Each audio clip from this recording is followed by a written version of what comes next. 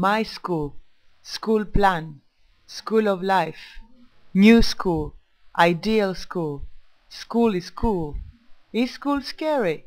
Not just school, nonsense school, school for children, school with a view, draw a school, paint a school, print a school, school room, school for thought, school for all, change a school, free a school, free school, school building, school on paper.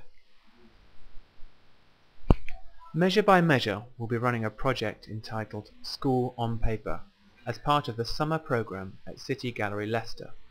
The project is best introduced by an explanation of our use of the terms school and on paper. School loosely refers to a place where something is learnt. We will be asking participants to explore the potential of a new subject, something that might be taught, a new space, something that should be given a different role or focus.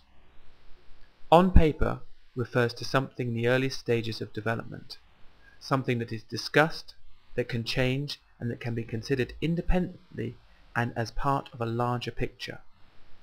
We'll be running activities as part of the City Gallery's workshop program that seek to create an environment for learning using creative processes.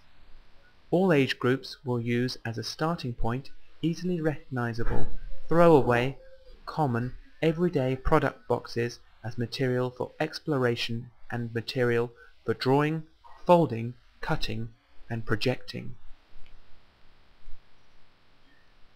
Each workshop will use the following structure. A first step, then assess and process. The next step, think and rethink. Adjust and readjust, testing all the time. Another step, talking and imagining, applying and shaping. Another step, to see how far you can go. Starting point. Start with an everyday throwaway object that is easily recognizable, non-precious and typically overlooked or dismissed after its original usage. Such, such an object is easy to relate to for most people, there are no worries about spoiling it or messing it up, thus no fear of experimentation. Using an object like this encourages one to look at their own environment and at seemingly trivial objects in a different way and promotes inquisitiveness. Phase 2.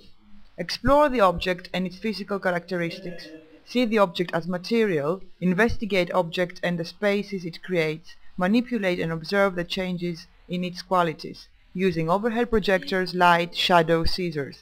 Respond to the manifestations of the different spaces the object creates. React to, interpret, record, process information. Object plus response equals new material. Use tape, paint, camera. Phase 3. Observing new material created, identifying new space and shapes, promoting an understanding of space and encouraging changing perceptions, identifying potential objects, materials, and reevaluating their potential, rethink one's own understanding of space, perceiving an activity as a learning process. What do you want learning to be? What is your idea of learning? School on Paper will be an active document that all the participants of the summer program will be involved in shaping.